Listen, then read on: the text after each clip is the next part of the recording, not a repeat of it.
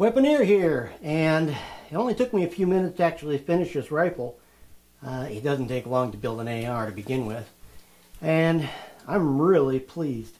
The FAB defense gear on this is, well, now I started uh, putting FAD, FAB defense gear on my VZ58, and I really liked the way that looked. Then I went from the VZ58 and I moved on to uh, an AK-74, and I really like the FAB defense gear on that. So I thought, well, I probably should go ahead and try it on a AR. Well, the only problem was uh, I didn't have a spare AR laying around. Um, I was missing one or two little small parts just to finish it off, you know, a little couple pins and stuff like that. And so I went ahead and I ordered the pins. It took longer than I thought and I was able to go ahead and get it all together. And once I had it all together then I just had to get the time to do it.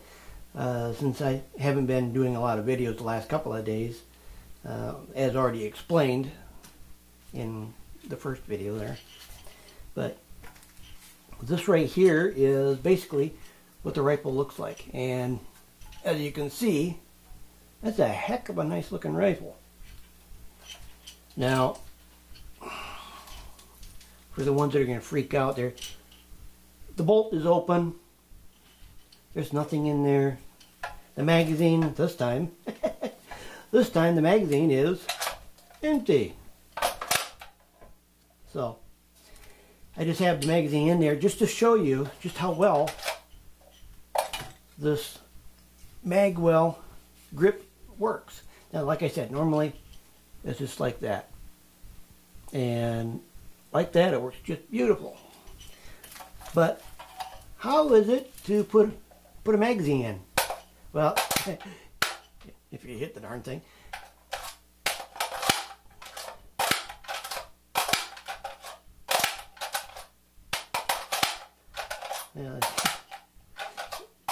as you can see, it, it's easy because it's like a funnel. And that funnel just funnels the magazine right in there. So with this being so close to my microphone, it's probably driving you nuts. Now, so the Magwell grip, love. It's got a perfect grip, especially you know like like this. If you were to grab a hold of it, it, it does feel very nice. It does keep your hand off the magazine.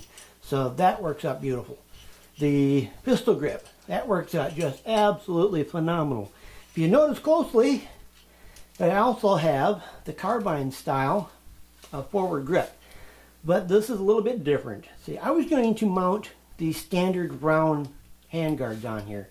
And the only bad thing about the standard round handguard, the good thing about them is they're really lightweight. And I could have mounted these on here and I would have had a four rail. The only problem is I'm sacrificing the weight, and I wanted a really lightweight rifle uh, for this model. And so I was kind of I was kind of stuck because I didn't want to sacrifice the ability to put a rail on.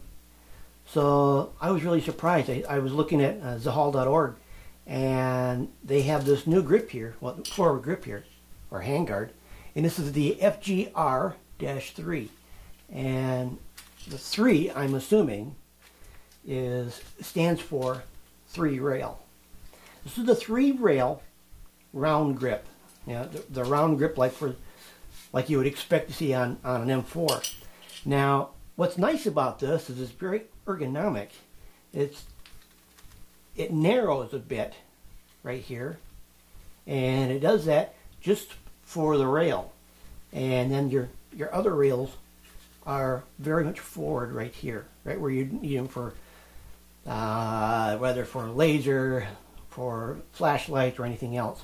Typically, you don't need those way back here. You just need them up here.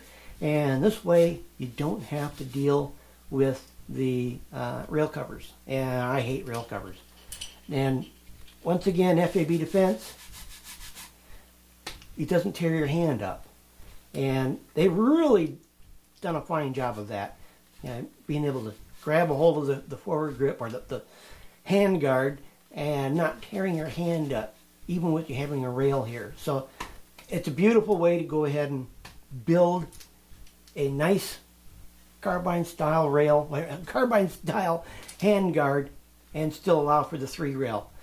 They did a phenomenal job on that. And one thing that they really excelled on was the fact that on, on a mil spec version, there's an aluminum heat shield on the inside. And you don't always find that on the commercial side. This one right here does have the aluminum heat shields. So it is going, and it doesn't keep it from melting. It just keeps it so it gets too hot. And if it gets too hot, you can't put your hand there. Well, this has got the aluminum heat guards on the inside, and this is it should just be perfect for holding on to. Now, I will be mounting the T-Pod, uh, second generation T-Pod on there, so that, that's going to be a little bit nicer. Um, there's a couple other things on here that I'm going to be covering in another video, and that's the muzzle brake on here, as you can see. Phenomenal muzzle brake. Love that muzzle brake. As well as, I got an, another muzzle brake from them as well, and also, normally you had that, you know, the rear pin, you push and pop out, and this has got a little bit different different style. Uh, I think this is called the tack latch and I just love it. it it's it's really cool. Uh, but I'll get into that in another video because it's some other company. So, but as you can see, the rifle, it's nice and lightweight, like it should be. It's not as lightweight as it could be because I got the big scope on there and everything else. I can, you know, just take the scope off, pop that off, and I can put one of these on here supposedly. It helps if I didn't tighten up the knobs here.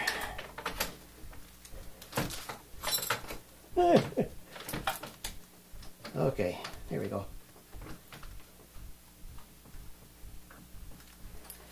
And so it looks a little bit more conventional that way. Uh, this is an Israeli scope and it's bullet drop compensating. The stock, I'm going to cover that in a separate video. This right here is another FAB stock, FAB Defense stock, and I really, really love this stock. This right here is a recoiling stock. So it it has a spring inside, so it'll recoil or prevent prevent too much recoil. It's also you know quick adjustable, so if you want to go ahead and lower it or, or extend it, it's easy to do that. And it, it locks up quite well. And it also has a little knob here and a little knob here. And you can raise it up. So you've got a cheek rest for whatever type of scope. Um, for mine, I don't know about this one. Let's see about this one.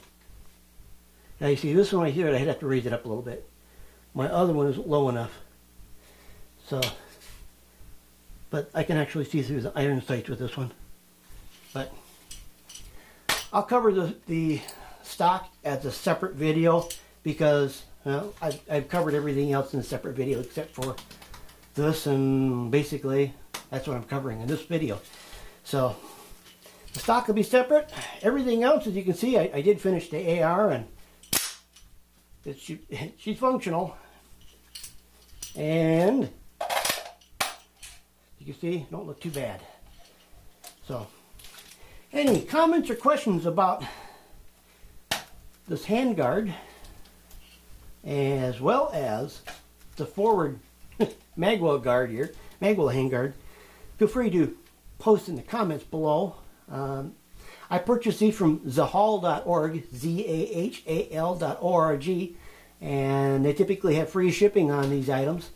And I, I always buy my stuff from them because I know it's going to be out there. You know, as soon as it's available, they're going to have it. And a lot of the stuff from like FAB Defense and stuff like that, they're they're really quick to be picking up picking it up. Just like the uh, the T-Pod G2. They had it before anybody else. So very much worth checking them out. And the link will be below as well. So this is Weaponeer, and I will catch you in the next video. What you, what you want,